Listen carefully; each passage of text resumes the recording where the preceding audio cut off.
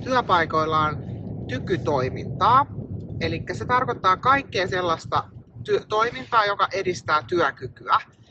Ja siihen liittyy tietysti kaikkia sellaisia niin virallisempia turvallisuus ynnä muita, muita asioita ja sellaisia, että työpaikka on turvallinen kaikin puolin. Mutta sen lisäksi tietysti työnantajat monesti katsoo, että erilaisen niin semmoisen virkistystoiminnan järjestäminen myös niin kuin edistää ihmisten viihtyvyyttä työpaikalla ja sitä kautta niin kuin sitoutumista töihin ja työssä jaksamista ja tämmöistä. Niin sen takia monet työnantajat järjestää virkistyspäiviä, jotka voi sitten työn paikasta riippuen osa olla vaikka semmoisia, mä oon itse ollut semmoisessa työpaikassa, missä me saatiin itse niin kuin, tavallaan valita keskenämme. Me saatiin niin kuin, päättää, että no me haluttaisiin nyt tällainen päivä, että mennään, meillä oli joku budjetti ja me saatiin päättää, mitä sen puitteissa tehdään. Tai sitten mä ajattelisin, että virkistäytymistä on voinut olla joku, läpissä oli Esa Saarisen luento, niin sekin on tavallaan niin kuin semmoista virkistäytymistoimintaa. Mutta että se voi olla työnantajasta riippuen mitä vaan. Ja sitten nykyään on paljon yrityksiä, jotka myy firmoille sellaisia paketteja, että meillä olisi tarjota teidän firmalle tämmöinen, me järjestetään niille golfia ja laskuvarjohyppyä tai mitä nyt vaan.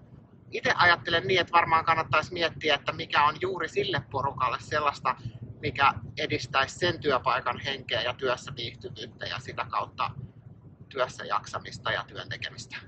Mitäs kun meillä oli mun vanhassa työpaikassa paljon tällaisia, niin kuin, se ei ollut oikein virkistämispäivä tai virkistyspäivä, koska siihen liittyi siinä oli saunomista ja pelejä, mutta et siinä tehtiin sit myös töitä. Et se oli niinku kehittämispäivä. Öö, kyllä mun mielestä sitä voi niinku yhdistää. Siis meilläkin on ollut semmoisia, että on niinku tavallaan ollut vaikka joku sellainen, öö, muistan, että oli vaikka joku viikonloppu, tai kahden päivänkin juttu, missä tavallaan tehtiin niinku töitä eka päivä, sitten illalla oli jotain saunomista ja tällaista, ja sitten niinku, öö, niin kuin seuraavana päivänä nukuttiin vähän pidempään, joku parempi aamia ja tehtiin taas töitä. Että kyllä niitä toki yhdistää voi. Ja varmaan sellainen ihan perinteinen virkistymisjuttu on tämä tämmöinen, että mennään syömään ja sen jälkeen niin kuin ryyppäämään pikkujouluna.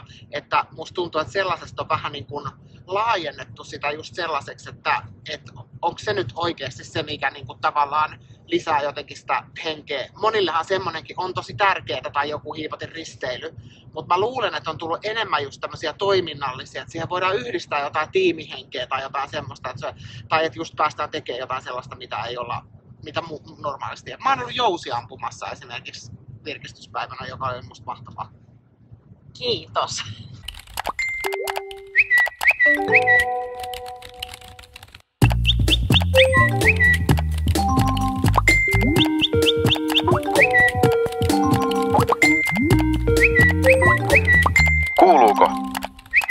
No moi, tervetuloa.